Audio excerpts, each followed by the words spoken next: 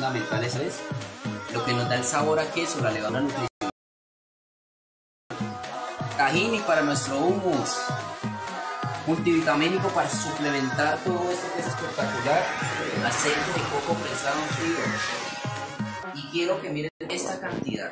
Quiero que miren esta cantidad de cosas. ¿Qué es lo que come un vegano? que si tienes algún paradigma y crees que nos alimentamos mal, ahí te dejo con esa toma. Mindfulness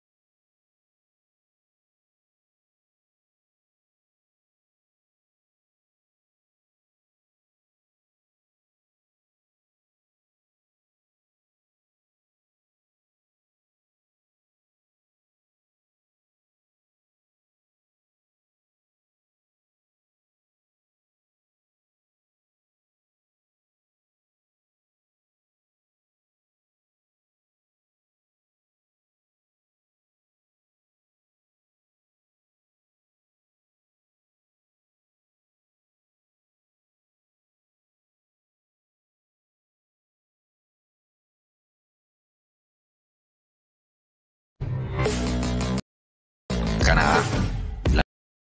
La de alimentación en ese país se enfoca en una cultura vegana.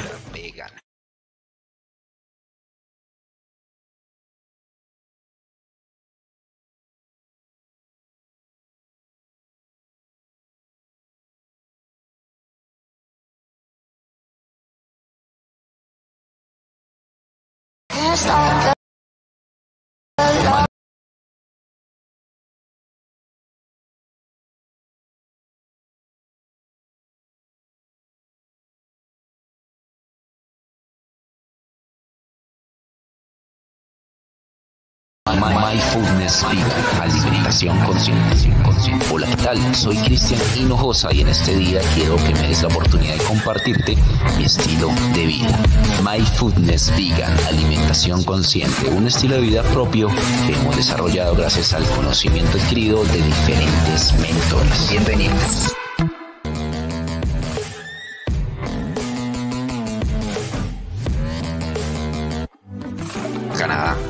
La nueva guía de alimentación en ese país se enfoca en una cultura vegana.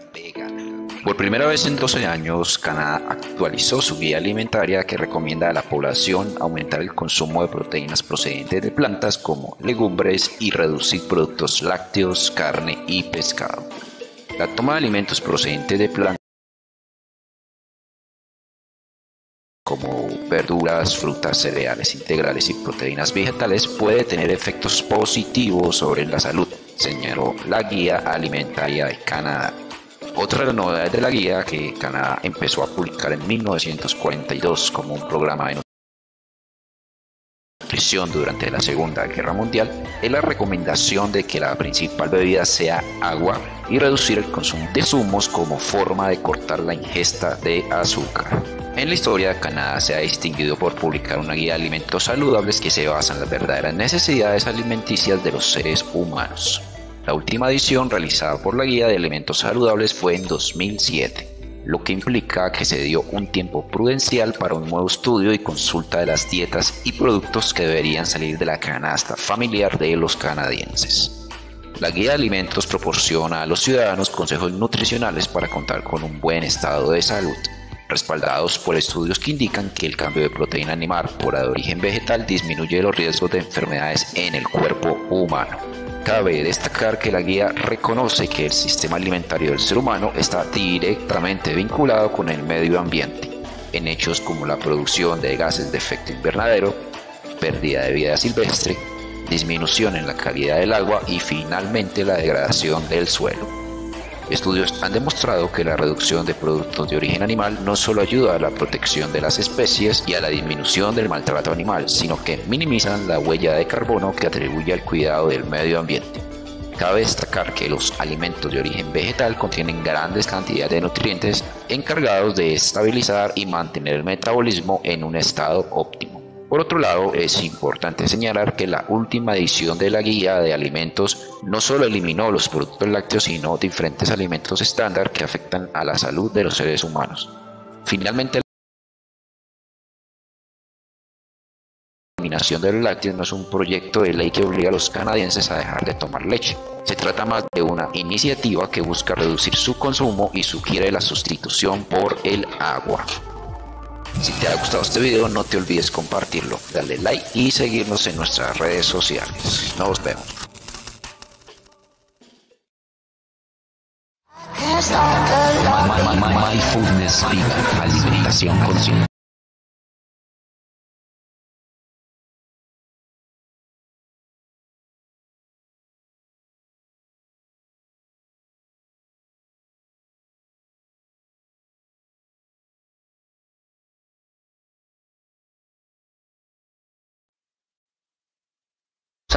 En este momento te traigo un tema bastante interesante. Hoy vamos a conocer 10 fisiculturistas veganos que debes de seguir. Así que vamos a romper algunos paradigmas frente a la ganancia de musculatura sin productos de origen animal. Dicen que la única manera de hacerlo es con productos de origen animal, pero en este caso, incluso yo a nivel personal te voy a mostrar algunas pruebas de que sí se puede ganar masa muscular siendo vegano, ya que en el caso de la proteína, ningún ser sintiente sobre la faz de la Tierra tiene la capacidad de producirla, por ende debe tomarla de fuentes externas. En este caso, los únicos organismos que tienen la capacidad de producir los aminoácidos esenciales y no esenciales son las plantas. Y si no, mira qué tipo de animales los que por lo general consumes y qué consumen. Te vas a dar cuenta que son vegetarianos, es decir, estás comiendo proteína de segunda mano. Como les estaba contando, yo también logré tener grandes resultados al ser vegano. Increíblemente puse a prueba el paradigma frente a la proteína y logré estos resultados en solo nueve semanas. Así que sin más vamos a empezar con este espectacular video y aquí comenzamos. Vida, alimentación consciente. Hola, ¿qué tal? Soy Cristian Hinojosa y en este día quiero que me des la oportunidad de compartirte mi estilo de vida. Mindfulness Vegan, alimentación consciente, un estilo de vida propio que hemos desarrollado gracias al conocimiento adquirido de diferentes mentores. Bienvenidos. ¿Quieres ganar masa muscular pero crees que nunca lo lograrás porque no comes carne? A continuación te dejamos los fisiculturistas veganos que te harán cambiar de parecer. Con el crecimiento impresionante de las plataformas digitales como Instagram que permiten compartir ideología, su estilo de vida, la idea de volverte vegano seguro te ha cruzado por la mente en más de una ocasión y tal vez ya hasta lo eres. Pero ¿qué pasa con ir al gym y aumentar músculos si no comes carne? Ya te dijimos que no es imposible ganar masa muscular siendo vegano. Pero aquí te dejamos algunas de las cuentas de fisiculturistas veganos que han logrado un físico impresionante a través de ejercicio y una dieta libre de proteína animal. ¿Creías que era imposible? ¿No confías en nuestras palabras? Ya ves que todo es posible y empezamos con el número uno. uno vegano desde 1998 y amante de los animales. Como dice su cuenta de Instagram, es uno de los tantos fisiculturistas veganos que piensan y demuestran que la carne no es necesaria para crear masa muscular. Todo depende del régimen de entrenamiento, cosa que demuestra con sus fotos en las que muestra un físico impresionante. Actualmente tiene más de 134 mil seguidores en Instagram. Cuenta puede leer que nunca ha comido carne. Tiene una cuenta en YouTube donde puede seguir su dieta y su rutina. En su cuenta comparte fotos que muestran sus hábitos veganos y lo musculoso que es solo comiendo alimentos de origen vegetal. Cuenta con 291 mil seguidores y te ayudará a mantenerte en el camino hacia una vida saludable sin En su Instagram mantiene a tus seguidores al tanto de las metas que ha logrado como fisiculturista vegano y de los retos que acompañan a esta dieta. Tiene una página en donde puedes encontrar todos los días recetas veganas, cuenta con 147 mil seguidores. Se dedicó al fisiculturismo después de pasar 8 años en el ejército. Dijo en una entrevista que su modelo a seguir es Torre Washington, quien le mostró que era posible ser un atleta vegano. Tiene un canal en YouTube donde habla sobre su dieta y la forma correcta de realizar ciertos ejercicios. Cuenta con más de 45 mil seguidores en Instagram.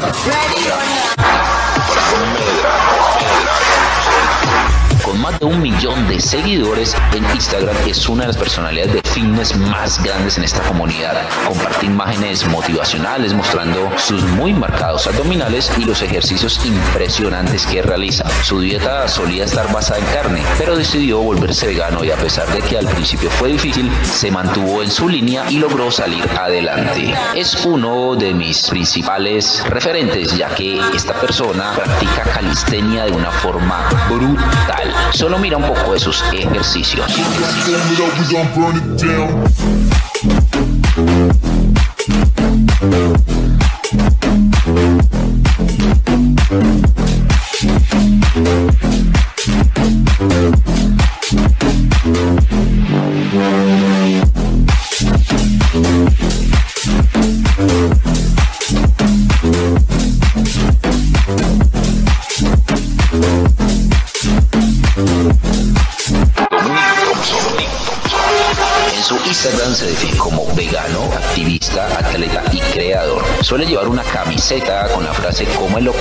Los elefantes. En su Instagram cuenta con 189 mil seguidores y puede ver en su cuenta algunos de sus ejercicios, su dieta y tiernos spots sobre cómo los animales le motivan para no alejarse de esta comunidad fitness.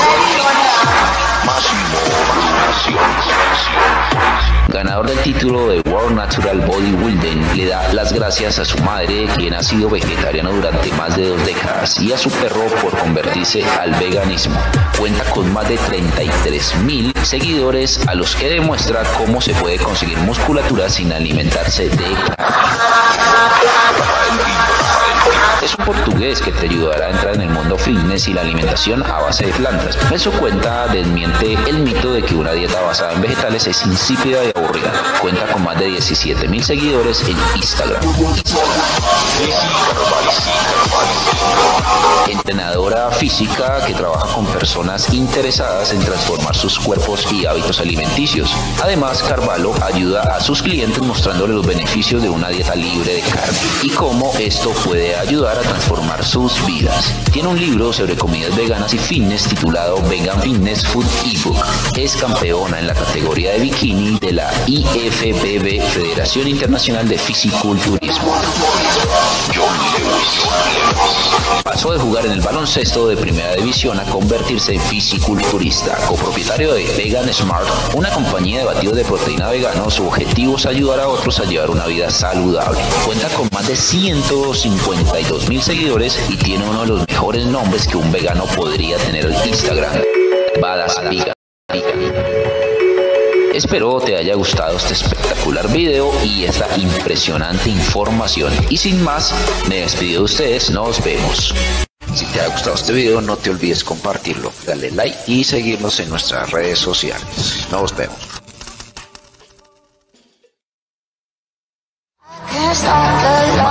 Mindfulness alimentación consciente.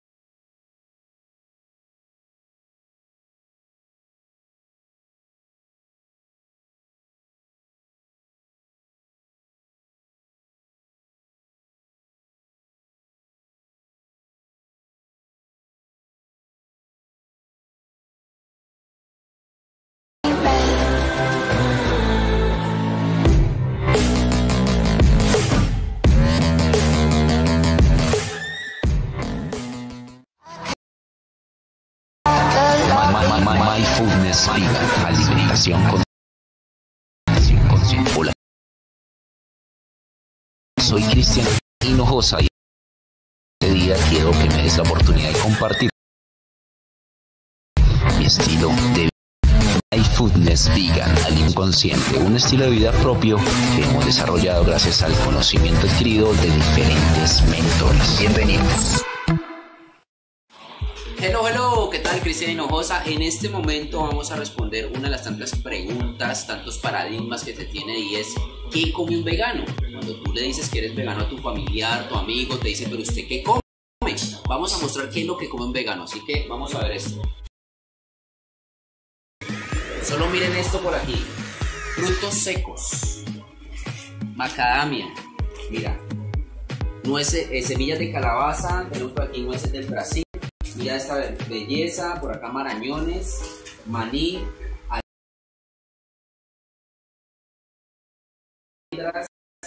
por acá tenemos algunas especies para darle sabor a nuestra cocina, tenemos ajonjolí negro, tenemos fenogreco, tenemos semillas de, estas son de girasol, por aquí tenemos ciruelas pasas, tenemos uvas pasas, semillas de chía, impresionante el superalimento. Por aquí tenemos nada más y nada menos que dátiles para darle dulce a nuestras preparaciones.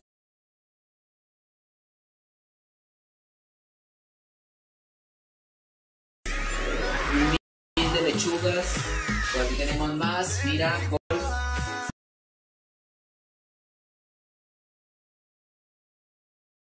pan artesanal, espectacular, uy, qué pena, se cayó raíces chinas,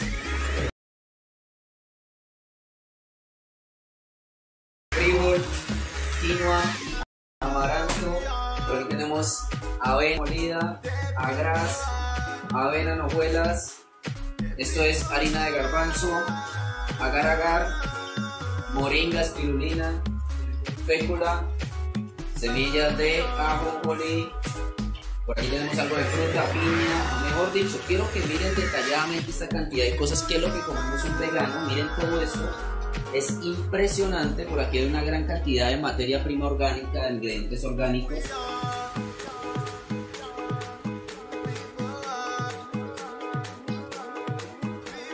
Por aquí incluso tenemos probióticos para una mejor digestión, aquellos que tienen una digestión un poco más lenta, los probióticos son fundamentales y vitales lo que nos da el sabor a queso, la levadura nutricional. Tahini para nuestro hummus. Multivitamínico para suplementar todo esto que es espectacular. Aceite de coco prensado en frío. Y quiero que miren esta cantidad.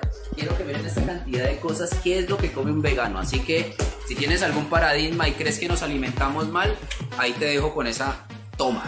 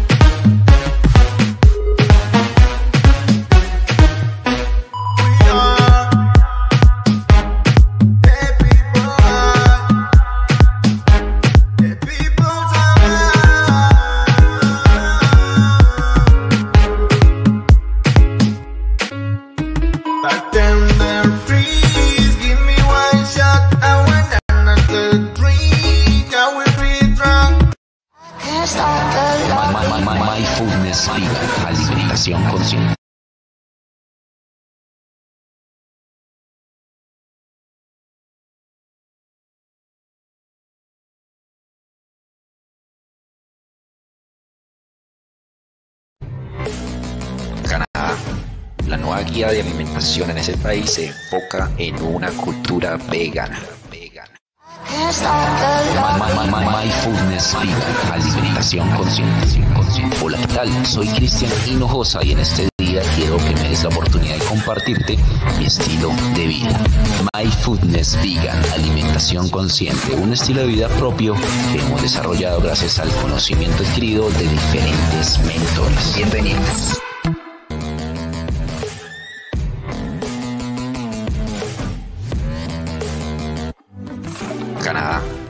Nueva guía de alimentación en ese país se enfoca en una cultura vegana. Por primera vez en 12 años, Canadá actualizó su guía alimentaria que recomienda a la población aumentar el consumo de proteínas procedentes de plantas como legumbres y reducir productos lácteos, carne y pescado. La toma de alimentos procedentes de plantas como verduras, frutas, cereales integrales y proteínas vegetales puede tener efectos positivos sobre la salud, señaló la Guía Alimentaria de Canadá. Otra de las novedades de la guía que Canadá empezó a publicar en 1942 como un programa de nutrición durante la Segunda Guerra Mundial es la recomendación de que la principal bebida sea agua y reducir el consumo de zumos como forma de cortar la ingesta de azúcar.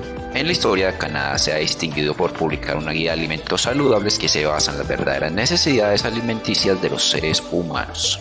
La última de fue en 2007, lo que implica que se dio un tiempo prudencial para un nuevo estudio y consulta de las dietas y productos que deberían salir de la cana familiar de los canadienses.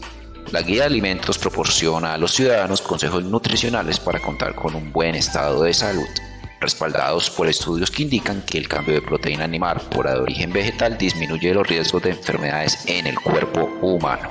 Cabe destacar que la guía reconoce que el sistema alimentario del ser humano está directamente vinculado con el medio ambiente, en hechos como la producción de gases de efecto invernadero, pérdida de vida silvestre, disminución en la calidad del agua y finalmente la degradación del suelo.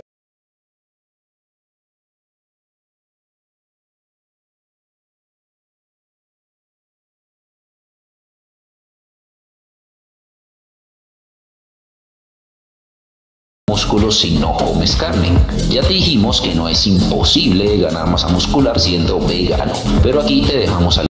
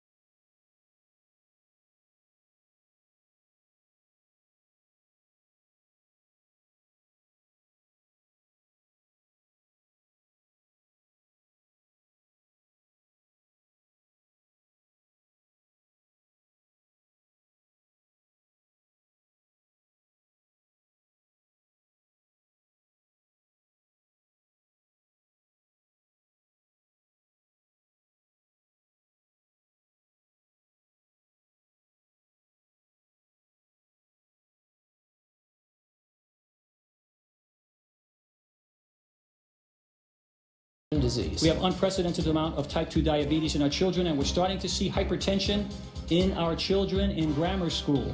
In case you're wondering, 2,120 calories.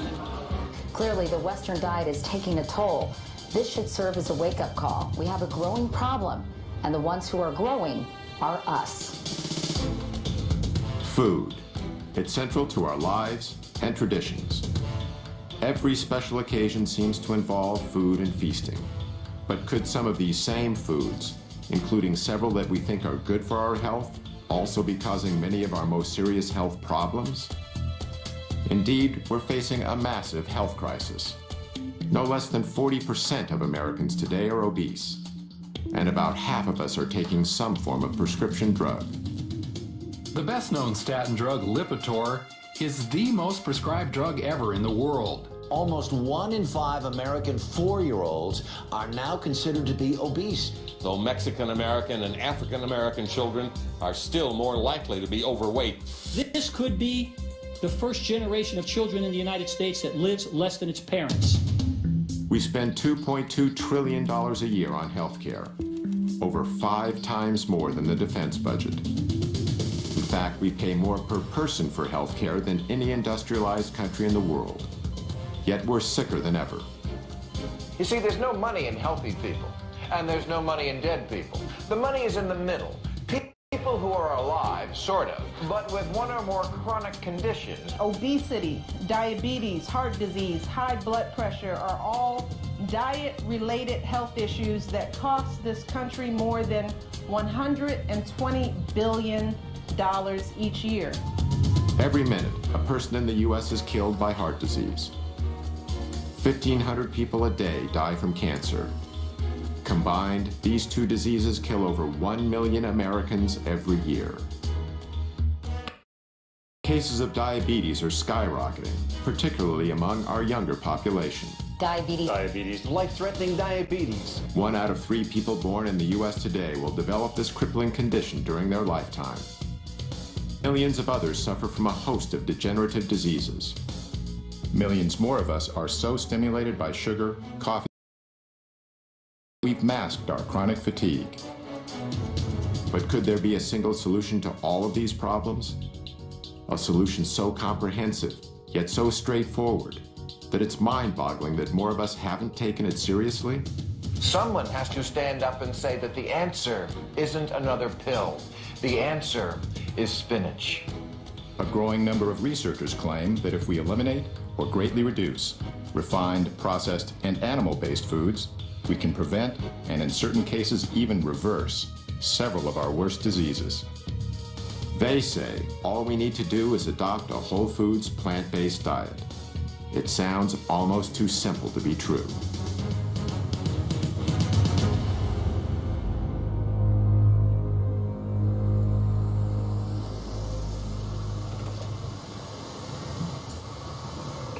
You might not expect someone like me to explore the connection between diet and disease. On my way over, I drank these two Red Bulls.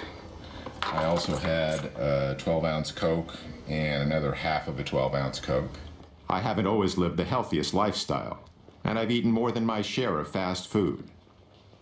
But as part of my effort to learn more about the link between food and health, I visited two physicians in Los Angeles, Dr. Matt Lederman and Dr. Alona Pulde.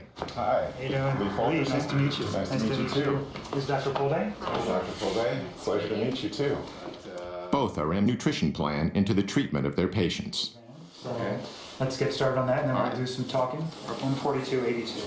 I found out a lot more than I expected. Like a lot of Americans, I thought my health was pretty good. I had no major diseases that I knew of. Hold them normal. But I hadn't had a thorough checkup in a while, so I decided to get one. When Dr. Lederman gave me the results, it was a real wake-up call. I gotta say, I'm kind of shocked. Uh, I'm really worried about my blood work numbers. Uh, 240 and 241 for my cholesterol is way higher than it's ever been. I got this six number. That to me is the most worrying number I got. The six number was the result of something called a CRP test, which measures the inflammation in my heart and blood vessels. This put me in the high risk category for a heart attack. So I committed to a 12 week nutrition program under Dr. Lederman's supervision. The plan was to treat my health problems by eating a whole foods, plant based diet.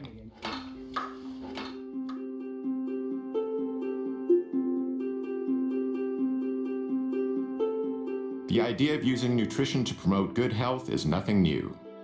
Indeed, Hippocrates, the ancient Greek father of Western medicine, said, Let food be thy medicine over 2,000 years ago.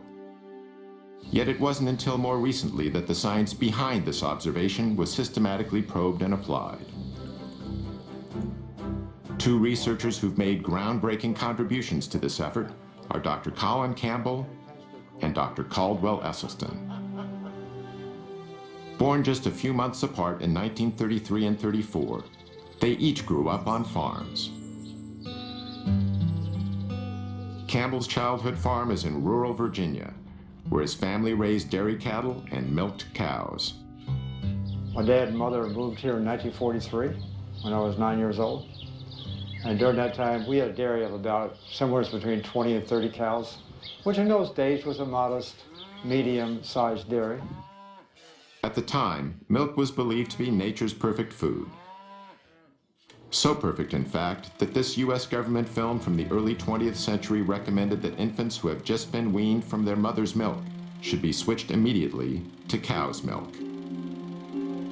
That was the excitement of doing something, producing nature's perfect food, if you will. Established in 1675, the Esselstyn's farm is in upstate New York. On these rolling hillsides, they grazed both beef and dairy cattle.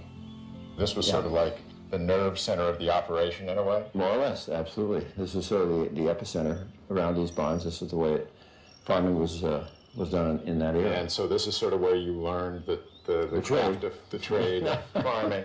How old were you when you moved here again? Seven. I didn't start driving the tractor until I was eight years old. well, a late, a late bloomer, right? exactly. But I enjoyed it, and I, I really got a great kick out of doing the farm work. Although they didn't know each other yet, farm life had a deep and lasting influence on both Campbell and Esselstyn. To make it successful, you had to have persistence, staying power, and tenacity of purpose. I guess it's ironic in the sense that we're both now advocating not consuming the products that we were busy actually producing with our families. During Campbell and Esselstyn's lifetimes, the American diet has changed dramatically. Near the beginning of the 20th century, Americans each ate about 120 pounds of meat annually. By 2007, that figure had exploded to no less than 222 pounds. In 1913, we ate about 40 pounds of processed sugar each per year.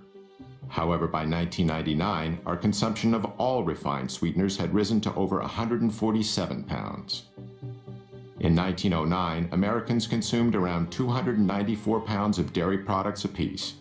But by 2006, our yearly intake of dairy had more than doubled to 605 pounds. By the early 1950s, Campbell was off to college at Penn State, while Esselstyn went to Yale. As part of Yale's rowing team, Esselstyn won an Olympic gold medal in 1956. During this same decade, the pace of American life was accelerating, even with our food. The late 50s was the heyday of the drive-in burger joint. The supermarket was just beginning to thrive in the newly built post-World War II suburbs. This was when the so-called convenience foods were born, like the legendary foil-wrapped TV dinner, not to mention a host of other tasty processed delicacies devised to make our lives easier and better. By now, Colin Campbell was in graduate school at Cornell University, which had one of the most prestigious nutritional science departments in the country. His research was on animal nutrition and biochemistry. But it was focused more on feeding animals for their ability to be able to produce meat, milk, and eggs, protein containing. And so my own research was focused on protein, making sure we got enough.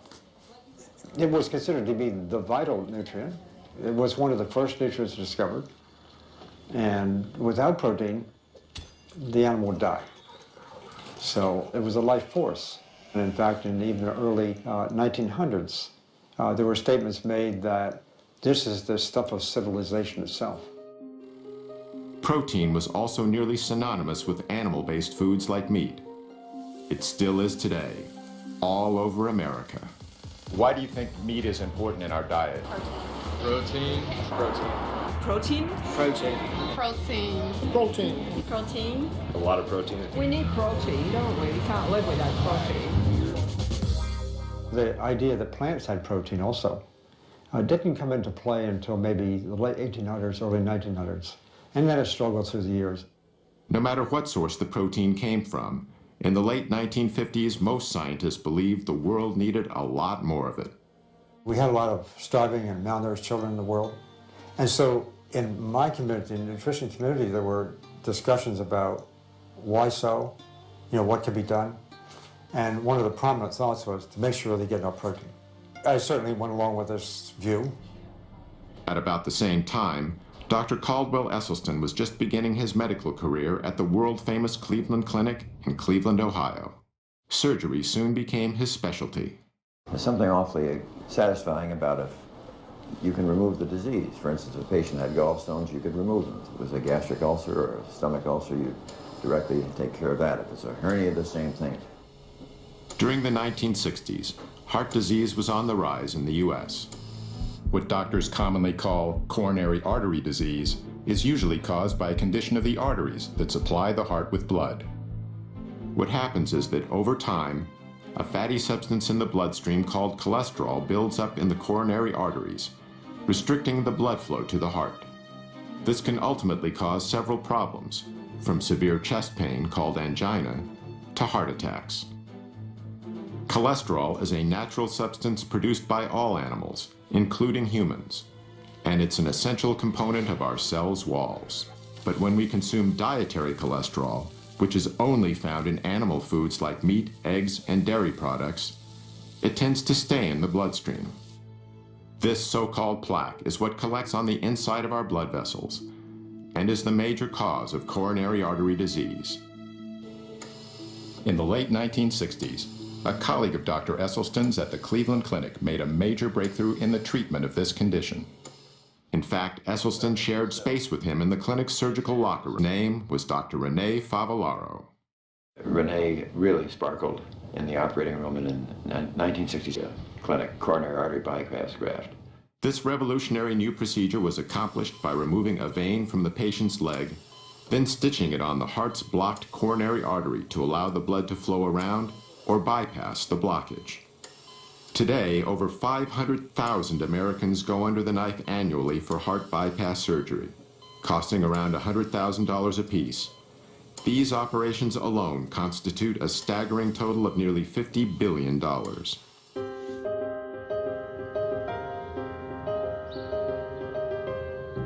Joey Aucoin lives in Tampa, Florida, where he owns and operates a landscaping company. I tell everybody to joke with everybody with me is, I don't eat to live, I live to eat. And I, my whole life, I ate whatever I wanted. In 2004, Doc high cholesterol level of 320, sugar level of 480. This not only made him a type 2 diabetic, but a prime candidate for a heart attack and a stroke. And this is my daily pill regimen. Um, I got two pills I take for my diabetes, then I got one for cholesterol, one for high blood pressure, and then I take Byetta, which is an injectable medicine, every morning before breakfast and every night before dinner. And that's what I've been doing for almost four years now. And I know it makes me tired, and I just I just don't feel normal. I only sleep four hours a night or so. I just hate taking them.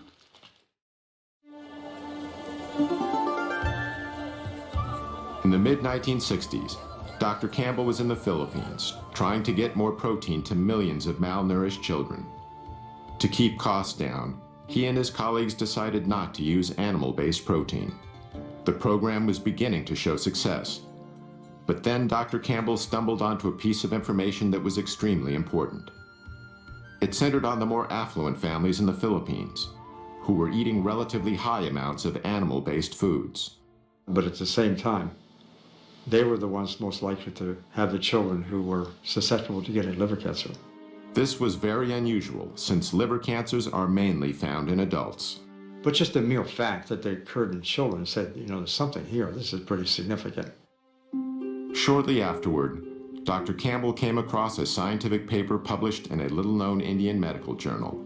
It detailed work that had been done on a population of experimental rats that were first exposed to a carcinogen called aflatoxin, then fed a diet of casein, the main protein found in milk.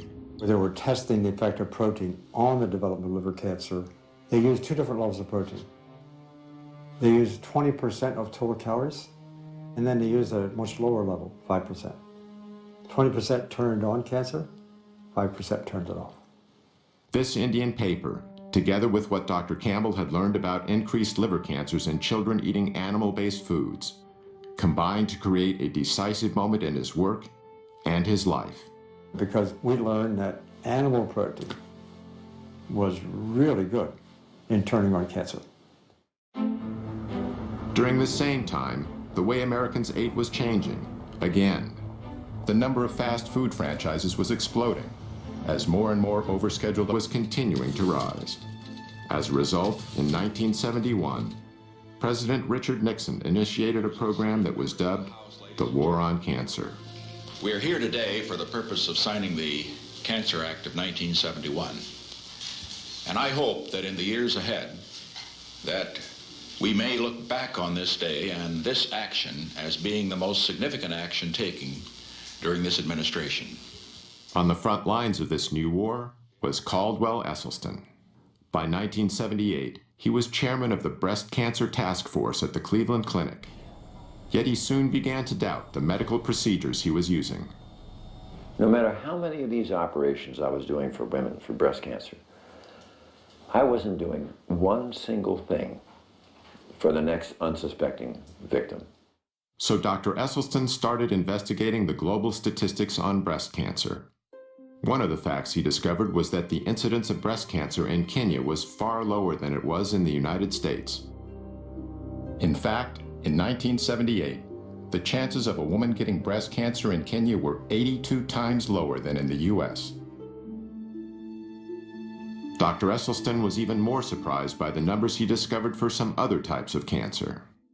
In the entire nation of Japan in 1958, how many autopsy proven deaths were there from cancer of the prostate? 18. 18 in the entire nation. That to me was about the most mind-boggling public health figure that I, I think I'd ever encountered. In the same year, the U.S. population was only about twice the size of Japan's, yet the number of prostate cancer deaths exceeded 14,000. Dr. Esselstyn also discovered that in the early 1970s, the risk for heart disease in rural China was 12 times lower than it was in the U.S. And in the highlands of Papua New Guinea, heart disease was rarely encountered. The link he noted between all the areas he studied was simple.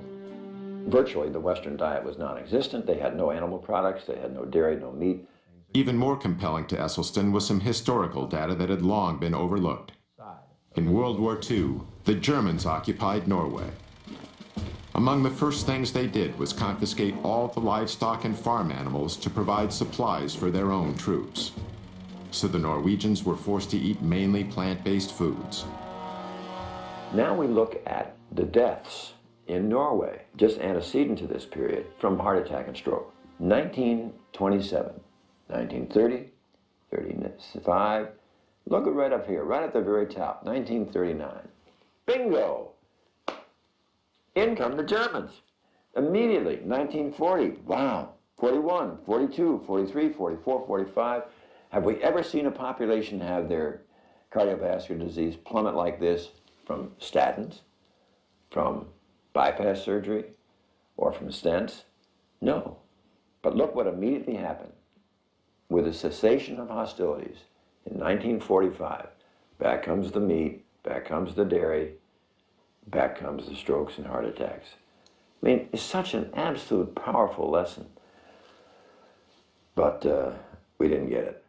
Because of evidence like this, Dr. Esselstyn was making the same assessment that Dr. Campbell was due to his work in the Philippines, seeing a causal link between animal-based foods and some of our most deadly diseases. But they weren't the only researchers coming to this conclusion. Another was Dr. John McDougall. In the mid-1970s, he began practicing on a sugar plantation in Hawaii. What uh, I observed there was the health of the people differed dramatically depending upon how long they'd been in Hawaii. People who were raised in Japan, the Philippines, Korea, China, first generation, who had moved from their native land, were always trim. Never had heart disease, prostate cancer, colon cancer, breast cancer, rheumatoid arthritis, multiple sclerosis. Never overweight. They were in their 80s and 90s and fully functional. Their kids got a little fatter, a little sicker.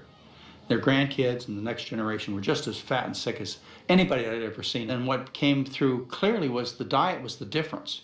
The first generation had learned a diet of rice and vegetables in their native land, but the kids, they started to give up the rice and replace it with the animal foods, the, the dairy products, the meats. And the results were obvious. They got fat and sick. So I knew at that point what caused most diseases. At the time, however, Campbell and Esselstyn knew virtually nothing about this other information. Even so, they ultimately reached a revolutionary conclusion that many of our most crippling conditions could be greatly reduced, if not completely eradicated, simply by eating what they call a whole foods plant-based diet. This means consuming foods that come mainly from whole, minimally refined plants, such as fruits, vegetables, grains, and legumes. It also means avoiding animal-based foods, such as meat, dairy, and eggs, as well as processed foods like bleached flour, refined sugars, and oil. Campbell and Esselstyn's research in this field would change their lives forever.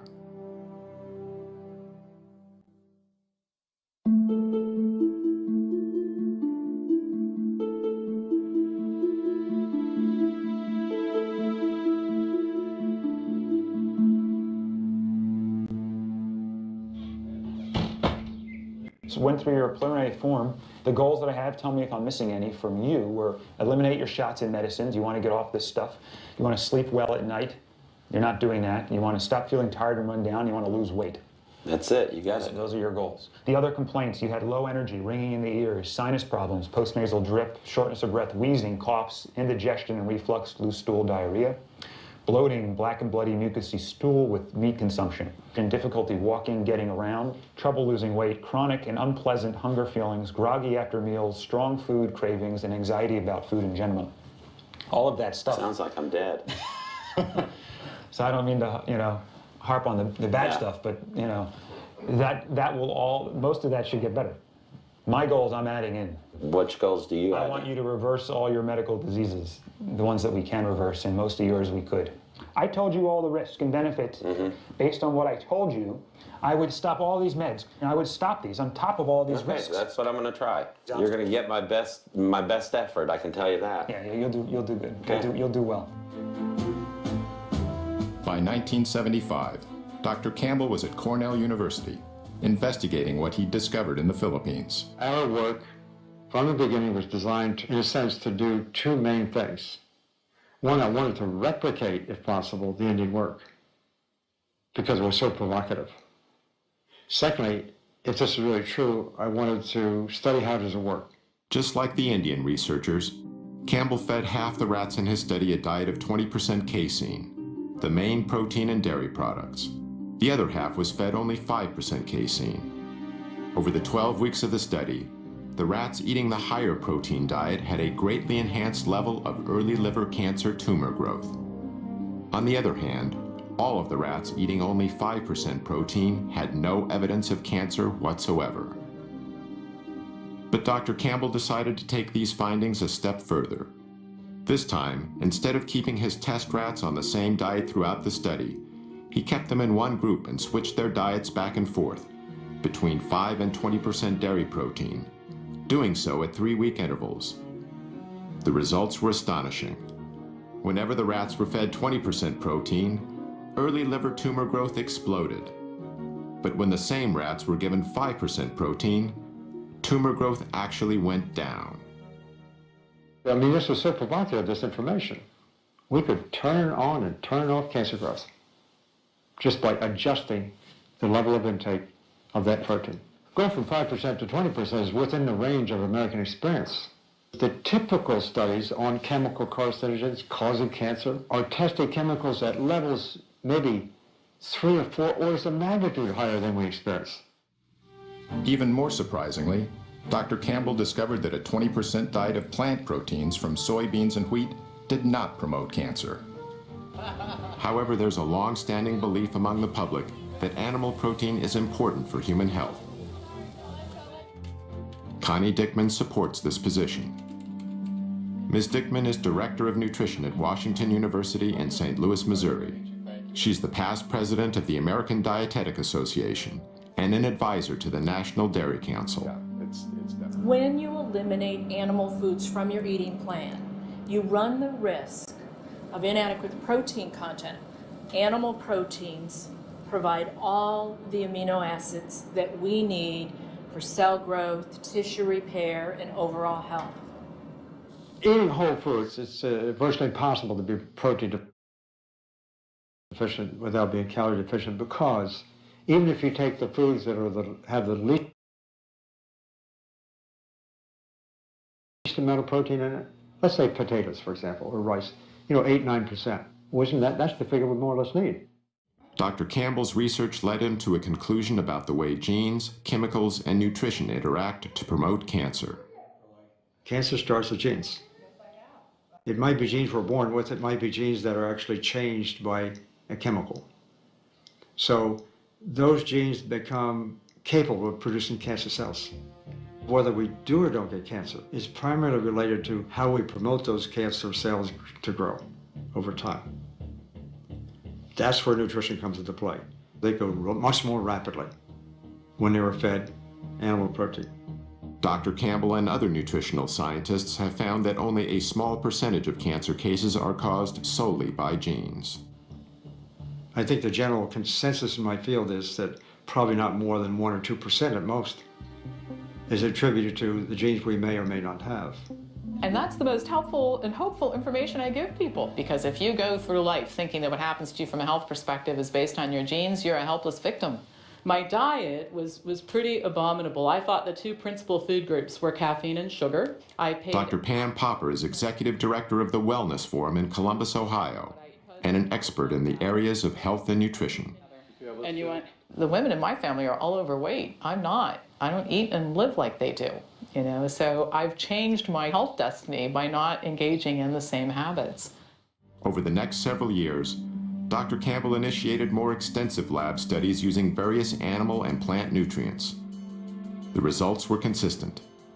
Nutrients from animal foods promoted cancer growth, while nutrients from plant foods decreased cancer growth.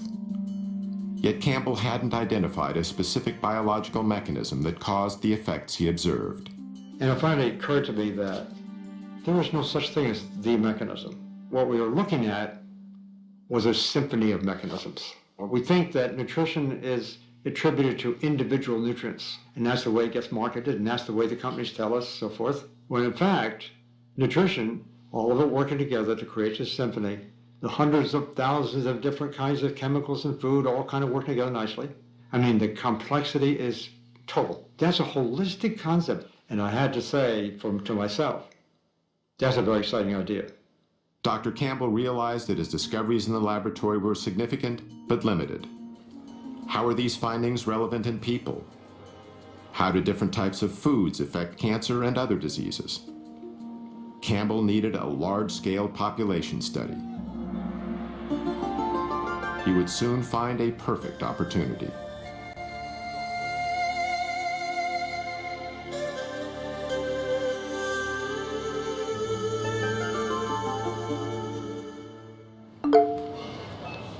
So mangoes are really good. They flavor things really Okay. good. That's something you want to get a riper one.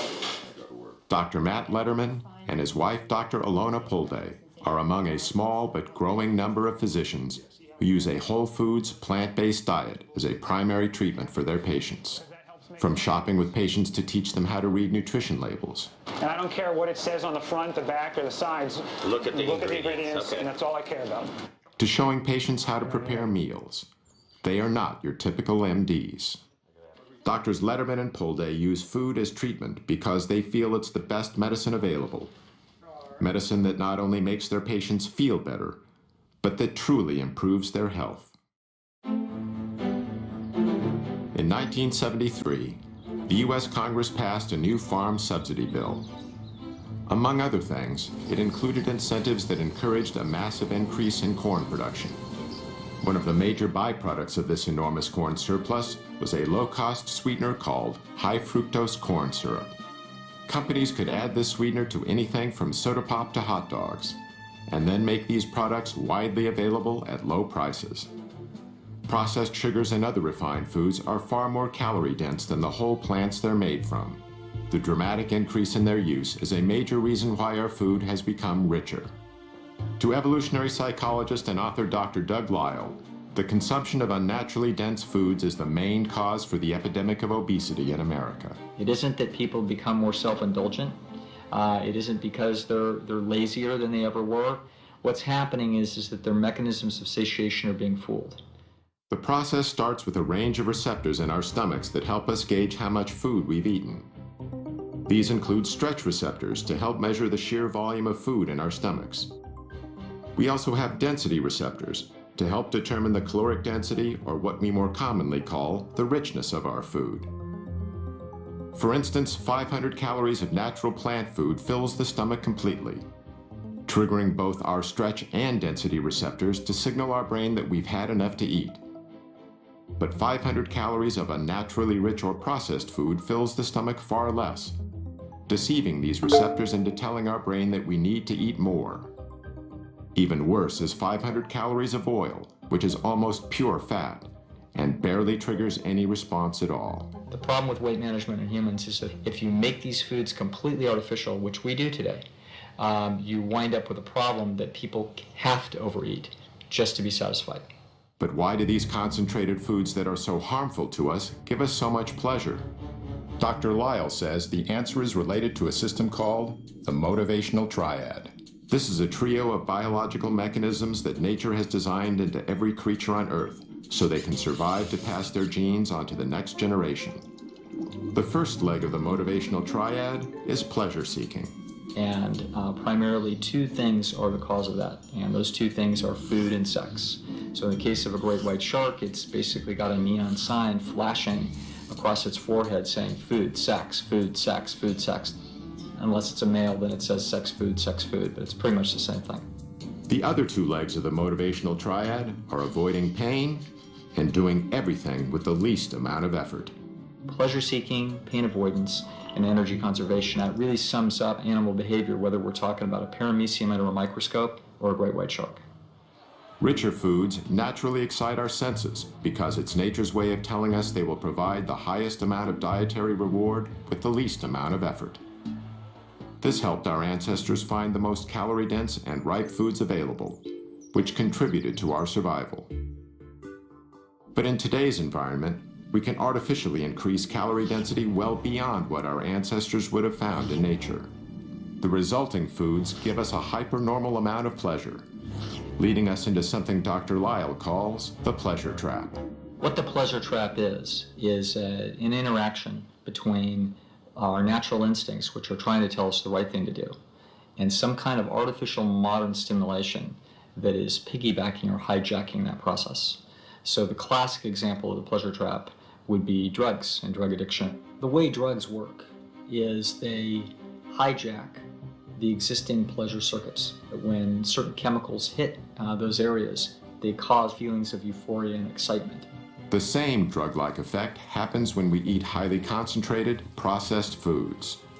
We've removed the fiber, we've removed the water, we've removed the minerals, we've done everything that we can to hyper concentrate sugar and fat and add a bunch of salt as well into the food. And now what the food has become is become a low-grade addiction. These things are drugs. They have other deleterious side effects, not the least of which is adding a lot of empty calories. Dr. Terry Mason is Commissioner of Health for the City of Chicago. He's one of the few public officials in America who openly supports a plant-based diet. If it walked, hopped, swam, crawled, slithered, had eyes, a mom and a dad, don't eat it. Dr. Mason contends that the less affluent segments of our population have difficulty making the best food choices. Well, first of all, the diets are calorie rich and nutrient poor. Uh, this is the, the real problem. And unfortunately, poor people are poor in everything. They're poor in health, they're poor in food choices, they're poor in almost every aspect you can think of. This makes the less prosperous particularly vulnerable to the low-grade addiction of highly processed foods. People want stuff that's fast, people want stuff that's quick, and they like the stuff that's salty, and they like the taste of something fried. And so those are the kinds of things that you see in, in our community.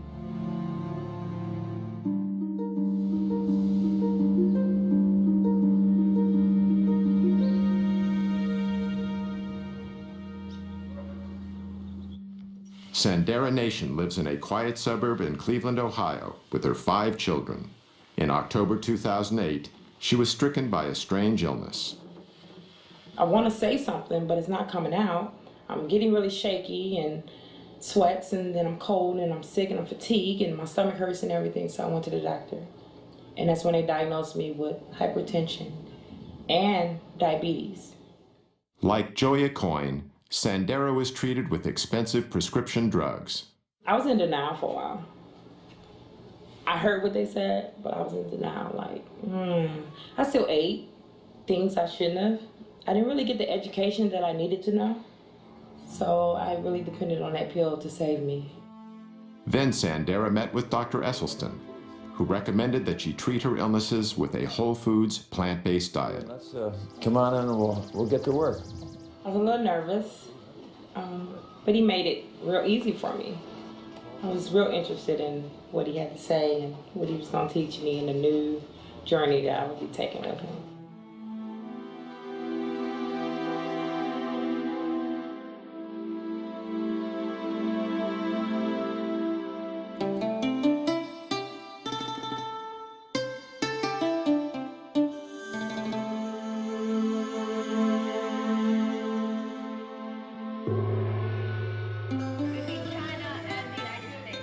1974, Chinese Premier Zhou Enlai was hospitalized with bladder cancer.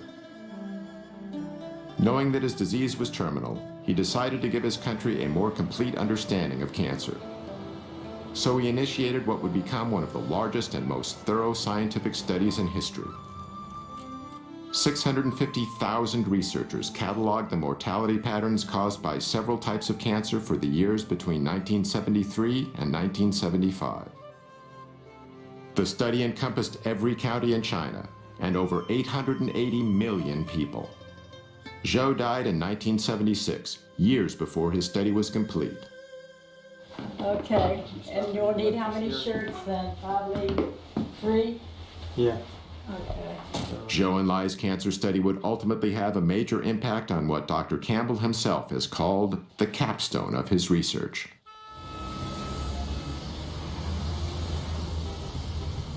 Early 90. And you were there for two or three months. Dr. Junshi Chen is now senior research professor with the Chinese Center for Disease Control and Prevention. He first met Dr. Campbell at Cornell in 1980 when he was a member of the Chinese Institute of Food and Nutrition Science. The Cold War was just beginning to thaw, and Dr. Chen was among the first senior scientists from China to visit the United States. By then, Dr. Campbell had become one of the most distinguished nutritional biochemists in the world. When they discovered this book, a significant collaboration was born. This is the Atlas of Cancer Mortality uh, in China. Published in 1981, the Cancer Atlas was the result of Zhou Enlai's nationwide study. It showed a highly unusual geographical distribution of different types of cancer in China, which tended to be clustered in certain hotspots. The same was true with cancer after cancer, and the counties with the highest levels were often far greater than the counties with the lowest levels. So, for example, esophageal cancer, according to this cancer map, the mortality has 400 fold difference among different counties in China. That's huge. Yeah, and in I understood in the United States only several fold difference. Uh, maybe, not may- even. may- maybe twofold is another. That's all we say. Yeah, yeah. So that caught our uh, attention in terms of why, because they are all Chinese. Genetically, they are all the same, and why they have so much difference in single cancer mortality. So we believe it has to be related to the environment, the big environment. And from our professional perspective, of course, it's diet and nutrition. Dr. Chen and I said, you know, why don't we just go there and do a study? For Dr. Campbell, it was the opportunity he'd been looking for. Among other things, he could examine how his observations about liver cancer in Filipino children and the findings from his lab studies applied to a large human population. The project would consider 367 diet and health related variables, making it one of the most ambitious nutritional studies ever conceived. Dr. Campbell and his associates carefully chose 65 counties scattered across China. These counties were mainly located in rural or semi-rural areas. We use the rural counties because they are stable in their residence and they have been in this lifestyle for at least 20 to 30 years. More than 350 workers were trained. they carefully surveyed the diet and lifestyle of 6,500 people in the chosen counties. Urine and blood samples were also taken. In 1983, Doctors Campbell, Chen, and their collaborators began to analyze the vast amount of information that had been collected. The job would take years.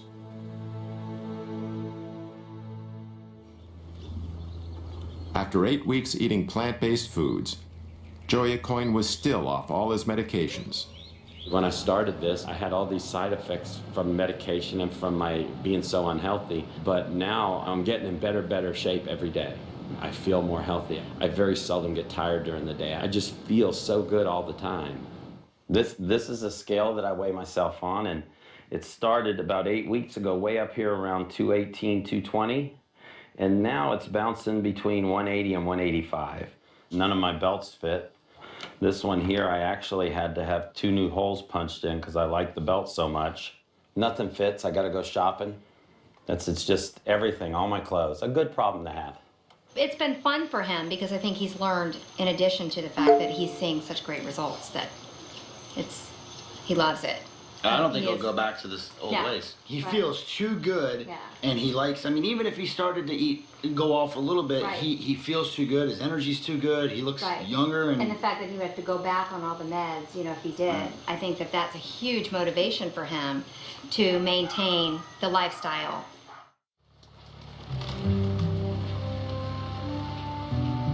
In the mid 1980s, Dr. Caldwell Esselstyn was struggling to organize a study on coronary artery disease.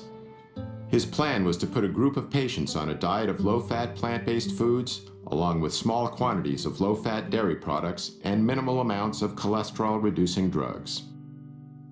And slowly, over the next uh, 18 months, I got the 24 patients that I had asked for. But the ones they sent me were a little bit sicker than I had thought. These were patients who had failed their first or second bypass operation. They had failed their first or second angioplasty. And there were five who were told by their expert cardiologist they would not live out the year. One of the most gravely ill patients was a 59 year old speech and communications teacher, Evelyn Oswick. ate all the chocolate candy I could eat, ate every donut I could put my hands on. Oh, I just love things like that. A lot of gravy. And then um, I had my, I have had two heart attacks before I met Dr. Esselstyn. When I had the second heart attack, the doctor said that I should prepare for death, really, is what he said. And I looked at him and I said, Do you really mean that what you want me to do is buy a rocking chair and just sit there and rock away and wait? And he just looked at me and he said, Yes, that's just exactly what I'm saying. Anthony Yen was born and raised in China. and we were eating uh, typical Chinese cultural diet. A very small piece of meat, but they slice it, and so it was uh, called for flavor rather than in American style. When you eat, you eat a large, great, big piece of meat, which you could easily feed the whole family in China. And we eat a lot of vegetable in China, and we had soup. But once I came to the United States, you find beginning to experience fast food, hamburgers and cheeseburgers, pizza, and I noticed my weight began to gain. When Mr. Yen was 56 years old, he suddenly experienced severe chest pains. At that time, I had an open heart surgery. I have five bypass, five. But it was very interesting. About a week later, uh, I felt uh, my chest tighten up again. So myself and my wife went to see Dr. Esselstyn. I saw every one of these patients myself every two weeks for the first five years. And at that visit, we would get a full cholesterol lipid profile. We would get blood, blood pressure, weight, and I would go over every morsel they ate. By using simple foods as the main treatment for his patients, Dr. Esselstyn was bucking a high tech, high cost system that was deeply entrenched in both big medicine and big government. You know, behind my back, I got to be known as Dr. Sprouts. but I guess I've always liked a challenge. We preheat the oven, got the water going, we just add some seasonings, and then we add the onions and the, and the spinach on it. Well, I've never been a morning person my whole life, and uh, but previous to this experience, um, it had probably been worse than ever, and that entailed needing to uh, get up in the morning and caffeinate myself with cokes and Red Bulls and stuff like that uh, before I could even think or start to work. We didn't make the rice noodles.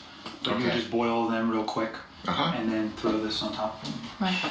He's actually eating more often, um, but he's eating the right foods and he lost weight. So he certainly um, feels much better that way, and, and you can tell it in his face, in his neck, you know, in his belly. It's all, he's lost a lot of weight there. He also has better energy. Um, he's waking up earlier now. That's great because um, we have then some morning time together. I don't have to carry anything. You're the doctor. 1990. Following nearly a decade of intense effort, Dr. Campbell and his colleagues finally published their China study. It identified no less than 94,000 correlations between diet and disease. Those are big numbers for any study. And in the end of the day, when we did all these correlations in this book here, and we looked at the number of them that were statistically significant, it was between about eight to 9,000.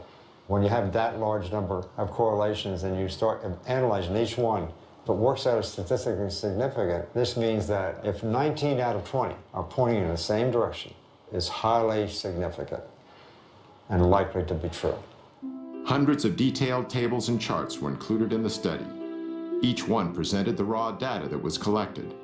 Then, this information was cross-referenced in multiple ways to demonstrate its reliability and to show how it linked with the 367 variables the study examined.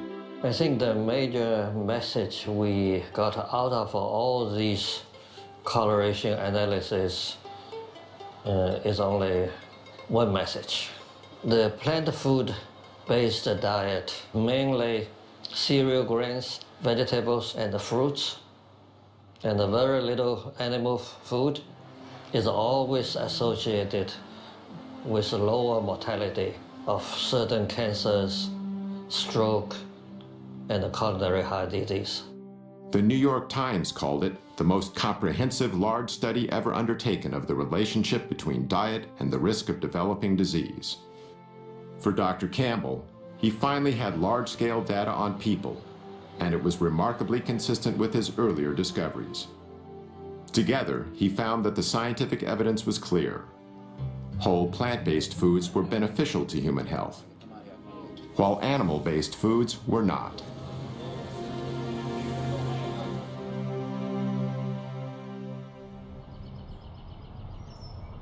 Sandera Nation's journey to better health wasn't easy at first. It was a little hard because I've been eating fatty foods and grease and everything 38 years, you know, as long as I can remember.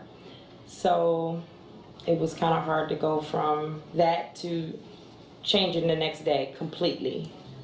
I started a journal for the, maybe the first three weeks. Write down my feelings and emotions, what I felt like, so that other people could know it's okay to feel that way. Along the way, Sandera had strong support from Dr. Esselstyn and his wife, Ann. They keep in touch. And they're like, we haven't forgotten about you. And I know they haven't. I, I really feel here that they haven't. I went to Walmart this day.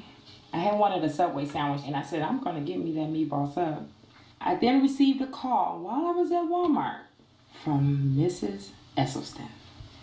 As if they knew I was weak at this moment. She stated, Promise me you will not eat anything from Walmart. Gave me chills to know that she called at that moment. Therefore, I left the store without getting that meatball sub. While Dr. Campbell was publishing his China study, Dr. Esselstyn was getting some powerful data from the research he'd started in 1985. He began with 24 patients, but six had dropped out in the first year, leaving him with a total of 18. At the end of five years, we had uh, follow-up angiograms, and 11 of the group had halted their disease. There was no progression. and there were four where we had rather exciting evidence of regression of disease. These results were astonishing. The diet produced something that medication and surgery never had before actual reversals of heart disease.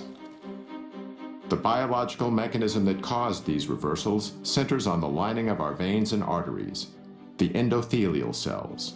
They are the absolute life jackets of our blood vessels. You're young and you're a teenager, you're healthy. You could spread those out one layer thick and you'd have something that would cover six or eight tennis courts. In 1988, scientists discovered that endothelial cells manufactured the gas nitric oxide. Well, what did nitric oxide do?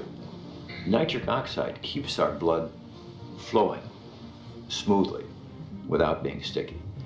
It also helps to dilate constricted blood vessels during physical activity and inhibits the formation of plaque. And most importantly, nitric oxide is a powerful force for eliminating the inflammation that seems to go with this plaque. However, scientific tests have demonstrated that when we start eating the typical Western diet, our endothelial cells are damaged. When you're getting to be in your 40s and 50s and 60s and you've been slaughtering your endothelial cells, you don't have those six or eight tennis courts. You may be down to one and a half or two, and they can't protect you. Yet, according to Dr. Esselstyn, when we begin eating a whole foods plant-based diet, the damage to our endothelial cells not only stops, it starts to reverse.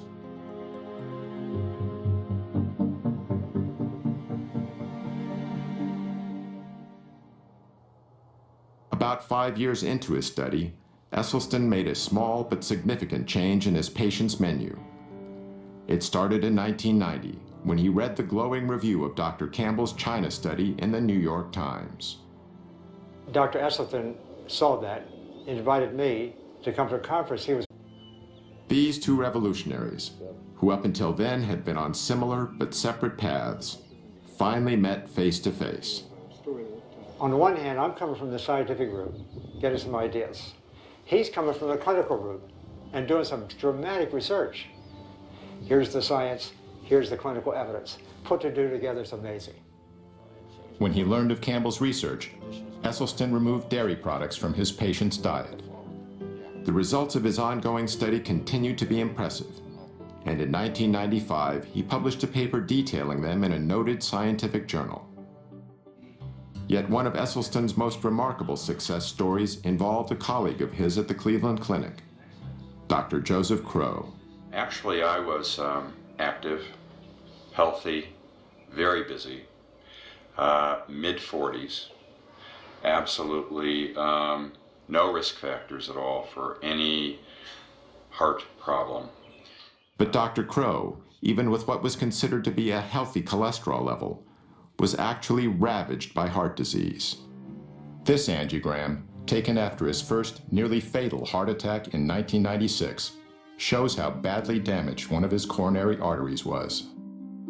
This angiogram was done after less than three years of entirely dietary treatment.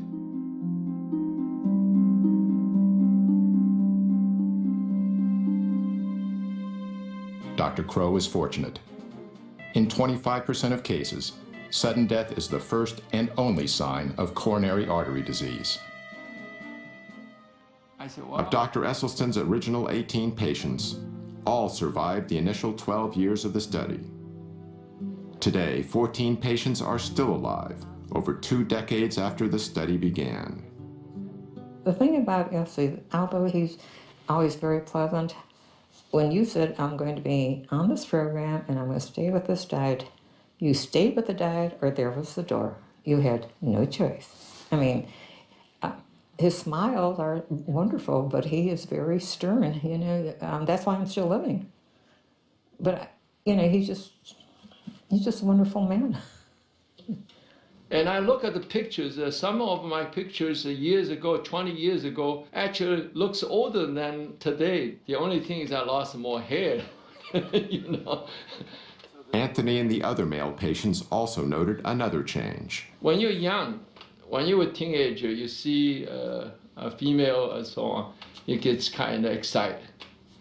And the first reaction physically.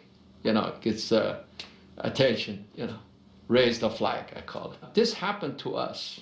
Uh, all the other uh, Dr. Esselstyn's, uh, I call them all the guinea pigs. The flag still rises. Talking to your doctor about ED may be the last thing you want to do, but it's definitely a conversation worth having. I'm a practicing urologist and have been so for the last 25 years. And erectile dysfunction is actually the first clinical indicator of generalized cardiovascular disease. It's the canary in the coal mine. It's the thing that lets you know that you have some significant endothelial and vascular disease much earlier than will a heart attack or something like that. We have to stop thinking of the body like it's compartmentalized. It really isn't. The blood goes everywhere in the body. And so if you have vascular disease anywhere, you have it everywhere. Despite the apparent success of the dietary approach, some critics say eating this way is extreme. Now, with the Western diet, this guarantees there are going to be what? A half a million people in this country this year who will have to have the front half of their body divided, their heart exposed, then veins will be taken from their leg and sewed on their heart. Some people would call that extreme.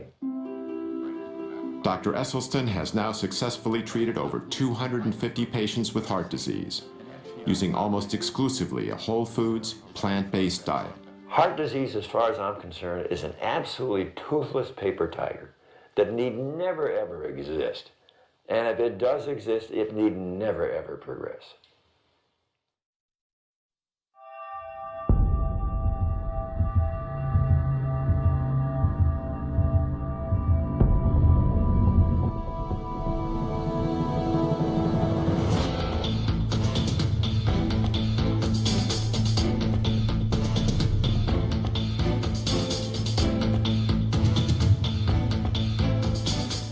Vegas, Nevada. At the Extreme Couture Gym, we found an extraordinary plant-based athlete, Ultimate Fighter champion Mac Danzig. In the mixed martial arts world, strength, toughness, and endurance are of paramount importance, and Mac has them all. I had cut dairy out of my diet when I was about 18 years old um, because I had a, a uh, ear, ear, nose, and throat allergy to dairy, and I was getting a lot of ear infections and things like that. So when I cut that out, um, really the only thing that was separating me from having a vegan diet was chicken and fish. So I was just eating that for years, and I was eating it because I thought that I needed to, because everyone tells you, you know, if you're an athlete, you need, you know, at least chicken and fish in your diet for protein. You know, something that's just one of the myths that's been perpetuated for a while. Um,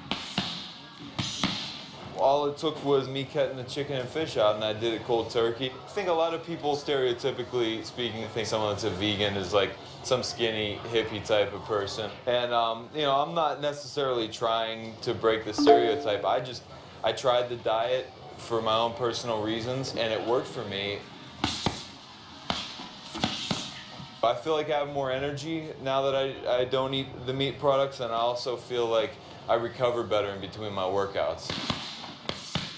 I'm not trying to uh, be part of some exclusive club or anything like that. I'm just doing my thing, and and um, you know, I don't plan on eating meat or dairy or anything like that for the rest of my life. This uh, guide is called the Type A Planning Guide.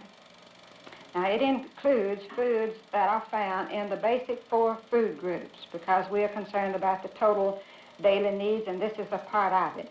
We must serve one half pint of fresh fluid milk to provide calcium, riboflavin, uh, and the other nutrients that are needed for our children. For decades, the dairy industry and U.S. government have been saying that milk is good for our bones. While all whole foods contain calcium, an essential nutrient for bone health, it is argued that we need the higher amounts found in dairy. Children and aging women in particular have been singled out to drink more and more and more milk. What do you think the most important nutrient we get from dairy products is, like milk? Calcium. Calcium. Calcium? Calcium. Calcium. Calcium. Or calcium. Calcium. The science in terms of dairy's role in, in healthy bones is pretty strong. And in fact, the National Osteoporosis Foundation, of course, utilizes that science in their recommendations. Osteoporosis is a degenerative bone disease which has been widely linked to a lack of calcium. If this is true, nations with a high intake of dairy products, which are a major source of calcium in a westernized diet, should have low levels of osteoporosis. But according to a study done by a distinguished Harvard researcher, nations with high levels of calcium intake tend to have high levels of hip fractures, which is a key indicator for osteoporosis.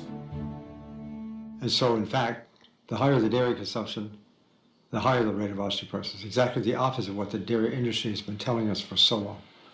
One of the primary mechanisms for that is that animal protein tends to create an acid-like condition in the body called metabolic acidosis.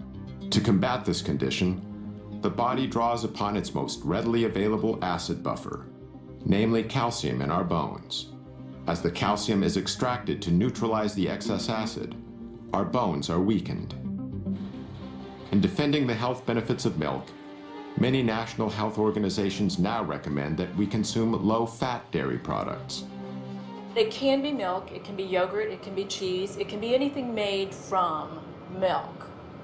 But again, the important message, it's a message that comes from the American Dietetic Association, uh, the National Osteoporosis Foundation, cancer, heart. We're all in the same page. It needs to be low fat, or fat free. So as the fat is taken out, the protein becomes a larger proportion of the. So they become higher in protein, lower in fat. And when we compare these high protein, low fat milk products, for example, with prostate cancer, the relationship is as strong as it is for cigarette smoking and lung cancer. Most of these uh, animals here are what we call heifers. Uh-huh. Uh, they're the young females, not yet cows. So they haven't had Not- their first calf yet. Haven't had other their words. first calf. So they have to have their first calf before they can Once they come lactate. into lactation, they almost keep them, these days, they keep them pregnant continuously Exactly. for three or four years. Why are they eating grass now? Well, this is the last time in their lifetime they're going to see grass. After that, they're in the barn, they're standing there for the rest of their life. When I was young, we defended our product, promoted our product because it was nature's most perfect food.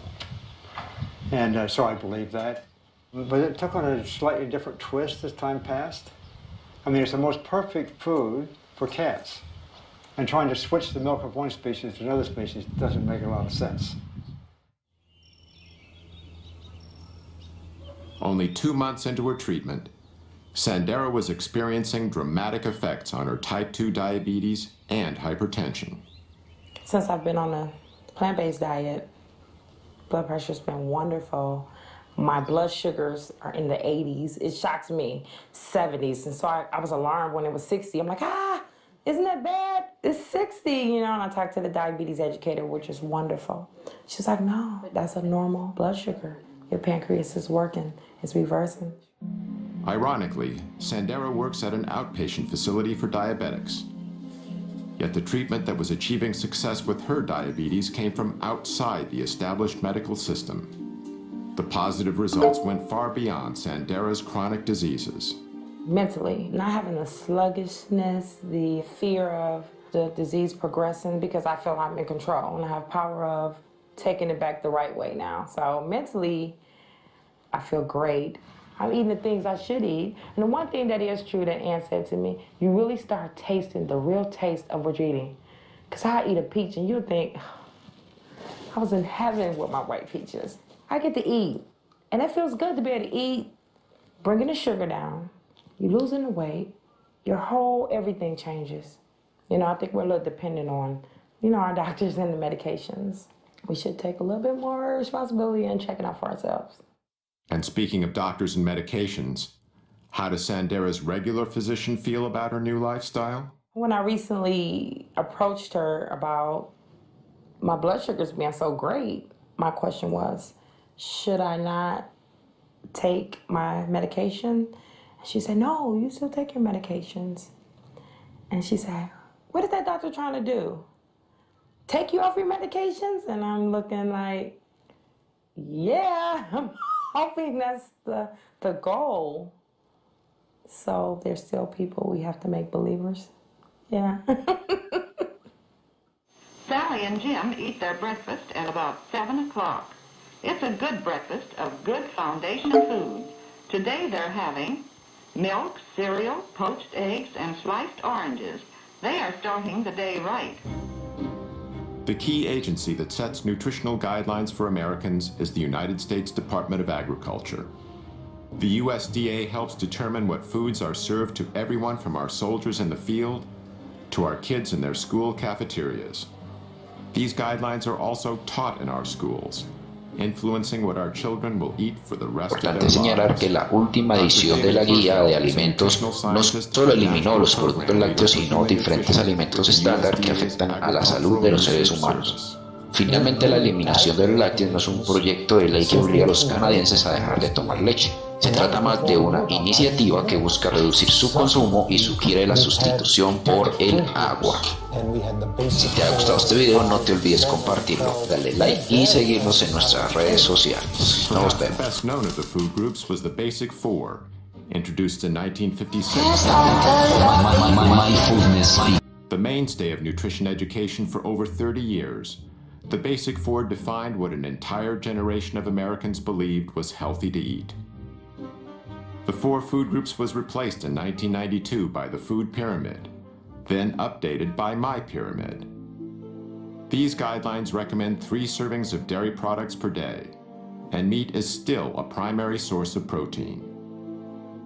In following My Pyramid, a 15 year old girl can eat a daily menu consisting of a bowl of Lucky Charms with low fat milk and a glass of orange juice from concentrate for breakfast, cheese flavored crackers for a morning snack, a cheeseburger on a whole grain bun with french fries and a Coke for lunch, chocolate pudding and grapes for an afternoon snack, and chicken nuggets with a biscuit and canned green beans for dinner, with low fat ice cream for dessert.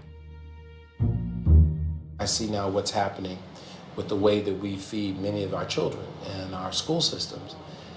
We shouldn't be surprised that we're seeing childhood obesity at the rates that we're seeing it. Dr. Neal Barnard is a medical researcher and president of the Physicians Committee for Responsible Medicine. Well, the problem is when, when a kid is pulling his tray down the school lunch line, you see federal policies in action. There are burgers topped with cheese, the milk is heavily subsidized, but the vegetables and fruits, a little bit harder to find. And this is because the government contracts are going to particularly the meat producers and, and other producers as well. It has nothing to do with the health of the children. It has all to do with the financial health of the big agribusiness entities. What we have at the USDA is it's really a farmers advocacy organization, and okay, let's have one. But that same group cannot advocate for farmers, help subsidize their operations, manage commodity foods, uh, subsidize the price of growing things, and then turn around and say, okay, we're gonna we're gonna tell people what to eat. They're gonna tell people what to eat based on their constituents, which are the farmers, not the American public.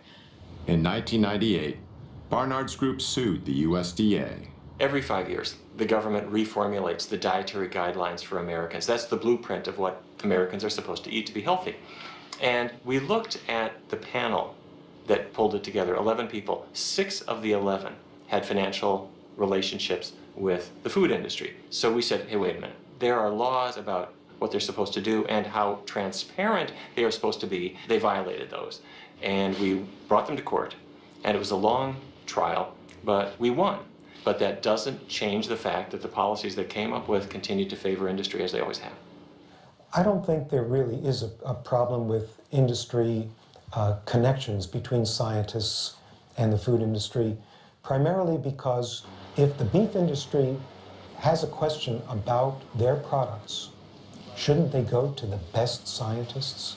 And if the best scientists are consulting for the food industry, I still want the best scientists on these committees that make nutritional recommendations.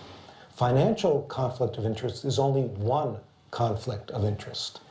You know, there are people who've spent their entire careers trying to prove that a vegetarian diet is good for you or that red meat is bad for you.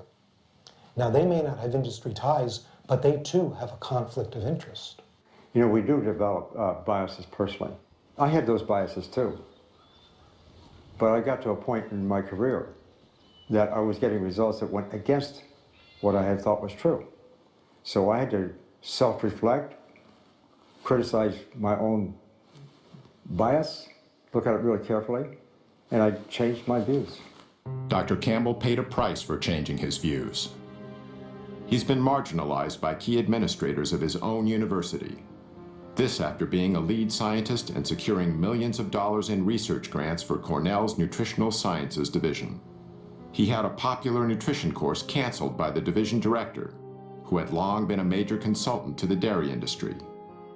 Numerous observers feel this was an arbitrary decision that violated the standards of academic freedom. Dr. Campbell has also witnessed serious corporate influence over research that is used to develop the government's nutrition policy. One example he cites centers on the prestigious National Academy of Sciences.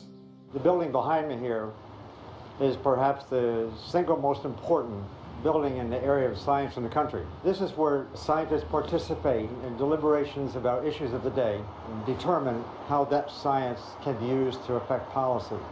In the early days when I was involved, those panels were mostly funded by public money. But on the other hand, in more recent years, I have seen more and more corporate money coming in to support these activities. And more and more people being allowed on the committees, especially the chairs of the committee. And of course, they can pick the kind of people they want to pick in order to get a certain kind of conclusion. It's, it's not the way it should be, and I'm sure that if the public were to know how powerful is this influence, they would be surely upset.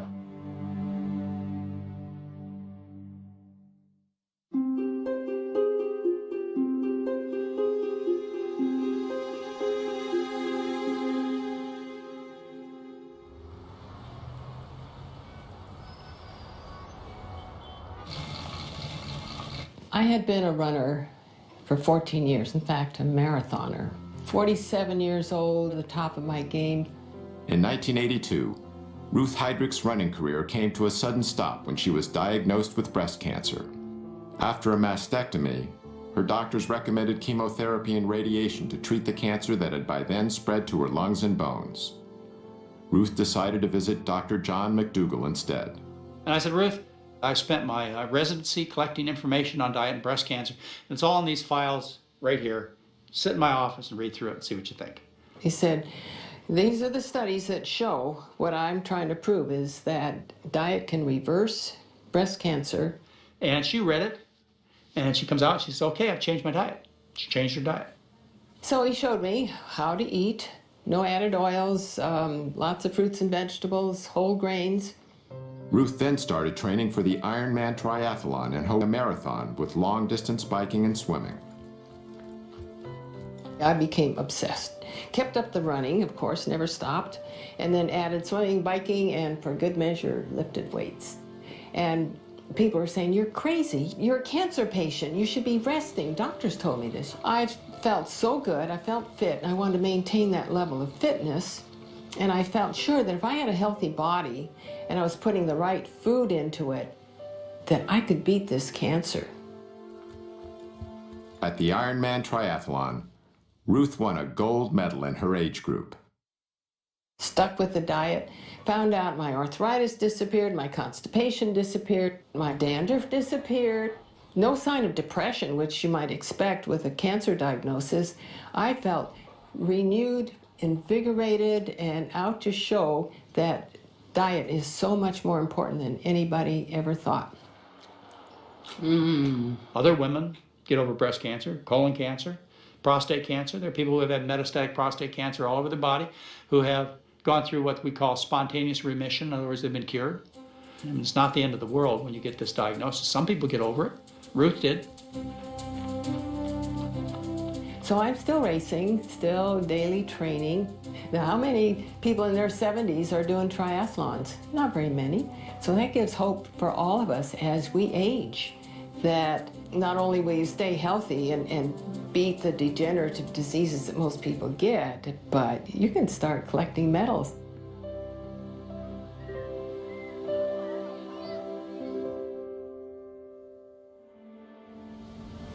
The food choices we make have profound global effects. It takes over 10 times the amount of energy from fossil fuels to produce a calorie of animal-based food than it does to produce a calorie of plant food. Since the 1970s, 20% of the Amazon's rainforest has been destroyed. That's an area the size of California. 80% of this cleared land is now occupied by livestock. The world's cattle alone eat enough grain to feed 8.7 billion people, nearly 2 billion more than the population on Earth. With almost a billion malnourished people across the globe, redirecting even a portion of the grain used to fatten cattle could feed every hungry mouth on the planet. For Gene Baur, factors like these, combined with a deep respect for animals, helped convince him to adopt a plant-based diet. Mr. Baur is president and co-founder of Farm Sanctuary near Watkins Glen, New York. It provides a safe haven for animals that have been abandoned or abused. I grew up eating animals, like most people in our country, uh, but once I started considering my food choices, I recognized that I didn't really want to eat animals. And the more I learned, the more I saw that I was healthier if I didn't eat, didn't eat animals, and that I had a much lighter footprint on our planet. The livestock industry is a greater contributor to global warming than the entire transportation industry, according to the United Nations. So by eating meat, milk, and eggs the way we are, we're harming our own health, we're slaughtering 10 billion innocent animals every year in the US, and we're destroying the planet. Statistics compiled from the United Nations and the World Health Organization demonstrate the profound global effect that diet has on health. These are the estimated amounts of animal foods produced in nine countries, a figure that's closely related to animal food consumption. These are the numbers of deaths due to heart disease and cancer in the same countries. In the United States, the very same diseases continue to have a grave impact even with the billions of dollars spent on cardiac treatment. Heart death, killing over 600,000 people a year.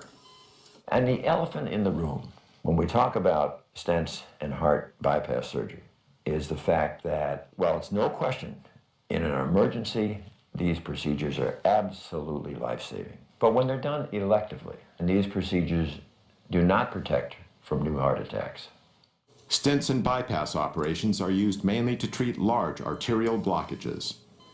Yet according to many research studies, only a small percentage of heart attacks are caused by the largest buildups of plaque. The rest are caused by the more numerous, newer blockages that are far more inflamed and much more likely to rupture than the larger, older, more stable plaques. And so this is why those procedures don't treat the disease. They are treating symptoms. Dr. Esselstyn has been eating the same foods that he has recommended to his patients for over 25 years. One of his sons, Rip Esselstyn, used a plant-based diet to fuel a successful 10-year career as a professional triathlete. When Rip turned 34, he was ready for a career change and trained to become a firefighter.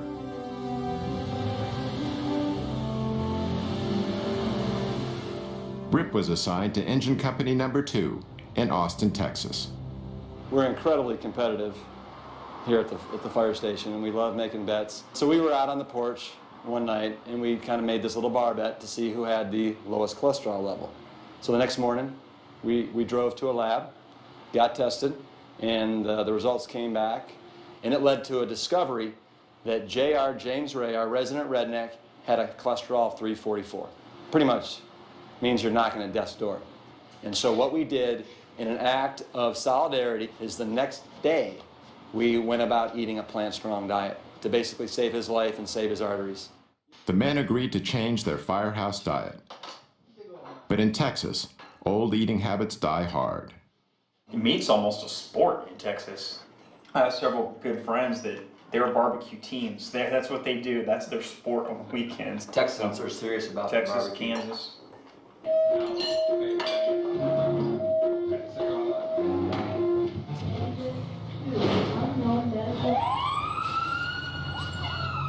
Well, guys associate being manly with eating meat. And if you're a firefighter, it's exponentially so. Last year, for example, there were 133 uh, firefighter fatalities in the United States. 52% were from heart disease. Our number one killer uh, of in the line of duty deaths for firefighters is heart disease. After just three weeks on his new diet, JR tested his blood cholesterol and it dropped 148 points, a decrease of 43%.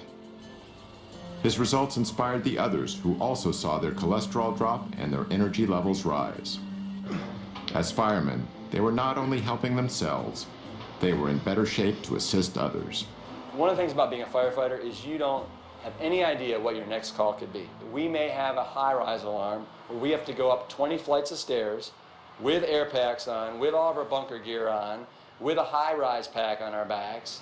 Anybody can go down the pole, but not everybody can go up, especially uh, without their legs. And right there, you're talking about an additional 75 to 100 pounds that you have to carry up 20 flights of stairs. You have to have an amazing aerobic capacity and strength in order to do that. Real men eat plants. Real men eat plants.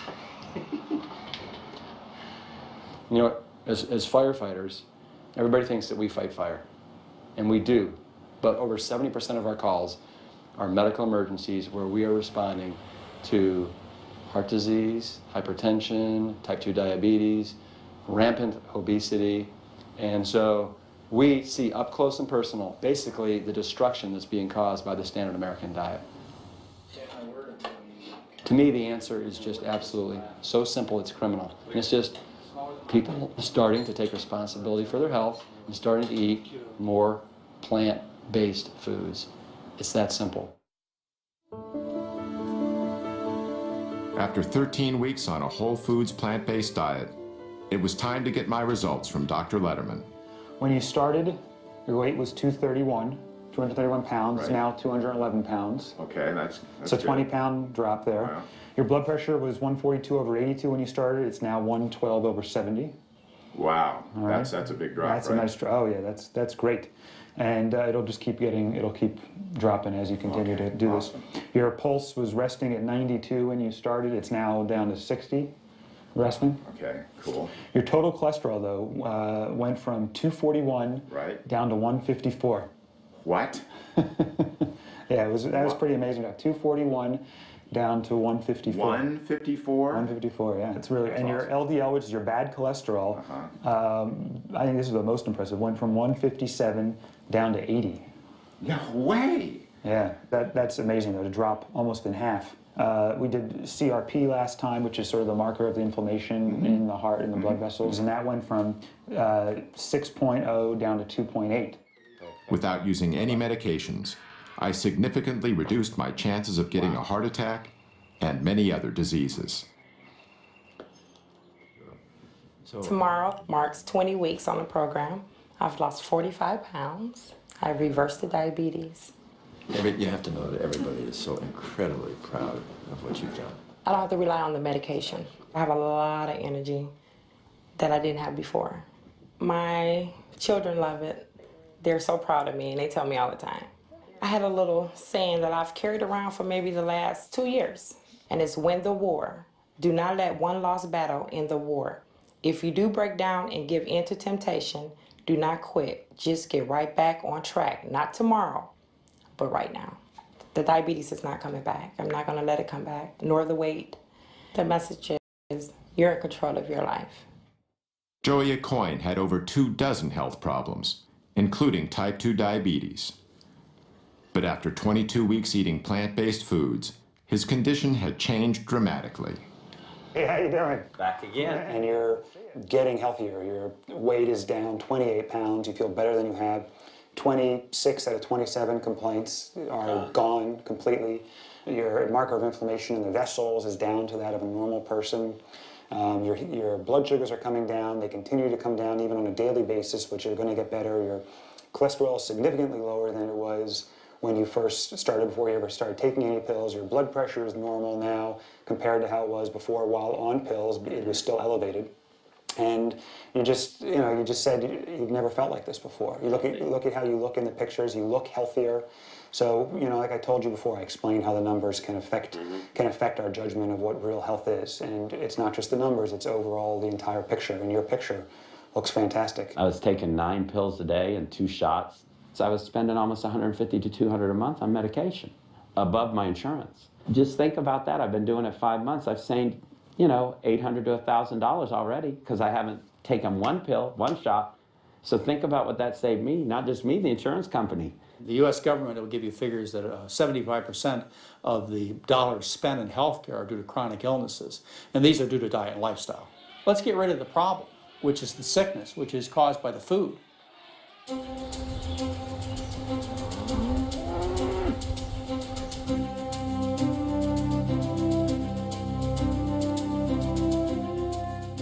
Now well into their 70s, Doctors Campbell and Esselstyn are both vital and active. They also continue to spread their message. If you carefully look at our school children, already the arteries to their brain, the carotid artery, is getting some intimal medial thickening. Dr. Esselstyn lectures about his research all over the United States and abroad. His wife Ann frequently accompanies him to help counsel patients and to demonstrate the preparation of plant-based foods. Dr. Esselstyn is also director of the Cardiovascular Disease Prevention and Reversal Program at the Cleveland Clinic's Wellness Institute. On the market. Like Dr. Esselstyn, Dr. Campbell continues to lecture throughout America and beyond. Dr. Campbell, you believe that even if animal-based proteins, meat, dairy, etc., are free from contamination, you don't think people should eat them? No, I don't. I think the closer we get to a plant-based diet, I should say a whole foods plant-based diet, the healthier we're going to be for all of us. In China, where Dr. Campbell did his large study a generation ago, the population has experienced dramatic increases in the amount of meat, dairy, and processed foods the average person consumes. At the same time, the rates of degenerative diseases are skyrocketing. Many Chinese now share some of the same beliefs Americans have about nutrition. 吃肉，我觉得增加蛋白质啊，嗯、对人体其实有很多好处。早晨起来喝一杯牛奶，我我认为好像还是比较好。 Dr. Campbell's message is resonating with growing numbers of concerned people around the world. Oh, thank you, thank you, thank you. Thanks to the efforts of both these pioneers and their colleagues, thousands of people are realizing that profound improvements in health and quality of life are within reach. You have two choices. You can eat yourself into poor health and early death, or you can eat yourself into good health and a long, healthy life. And that road is on a plant centered dietary pattern. You know, I know of nothing else in medicine that can come close to what a plant-based diet can do. I can say this with a great deal of confidence that our national authorities are simply excluding this concept of nutrition from the debate and the discussion in order to protect the status quo. In theory, if everyone were to adopt this, I really believe we could cut healthcare costs by 70 to 80 percent. That's amazing. And it all comes from understanding nutrition, applying nutrition, and just watching the results.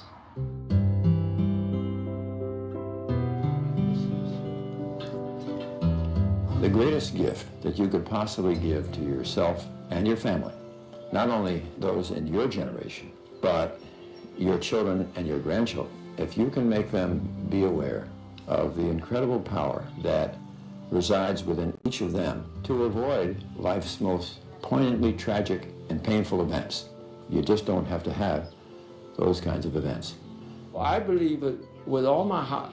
If anyone listens to this and they really should look at their refrigerator and look at their diet and give a try, you lose weight and you'll be healthier. Nothing gonna lose if you just take a few weeks and try. You could see how easy it is. I'm not going to say it was difficult. Again, I made up my mind. This is what I'm going to do.